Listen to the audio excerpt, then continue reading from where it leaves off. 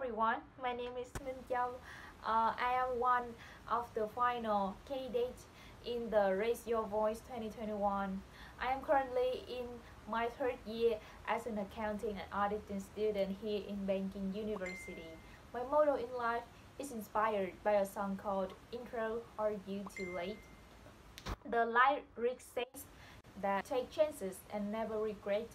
Someday everything you did would be exactly what you will be. The lyrics is very meaningful and it encouraged me to keep taking chances, keep challenging myself, breaking my boundaries to fulfill my ability to grow and to complete myself.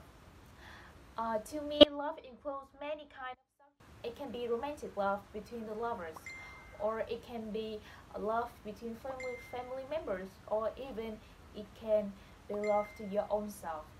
In my opinion, loving ourselves is not considered narcissism. In fact, I think it's one of the most important kind of love that we have to know in order to have a true happy life.